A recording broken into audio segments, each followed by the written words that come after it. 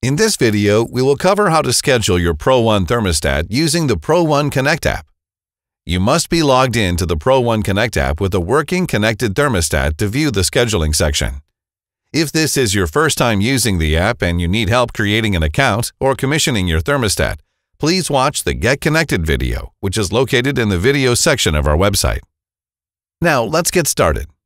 First, open the Pro One Connect app on your mobile device and go to the thermostat home screen. If your thermostat is currently running a schedule, there will be an icon located on the bottom center of the screen. If you do not see this icon, you must first enable the scheduling option in the thermostat settings. Now that scheduling is turned on, we can view and make adjustments by pressing the icon on the bottom center of the screen. When you first enter the scheduling section, it is set to View Only to prevent any accidental editing. Pressing the days of the week at the top of the screen will allow you to view which days are grouped together and the current program that they are running. If you would like to make any adjustments to this, you must press the Edit button. Once in Edit mode, a plus sign will appear next to each time period. Now you can select and deselect each day of the week individually at the top of the screen to group the days that you would like to share the same schedule. For example, if you go to work 8 a.m. to 5 p.m. Monday through Friday every week, then you might want to group these days together. If you get home late every Wednesday night, then you might want to schedule that day by itself. Once you have selected the days of the week you would like to schedule first, press the plus sign next to the time period you would like to adjust first.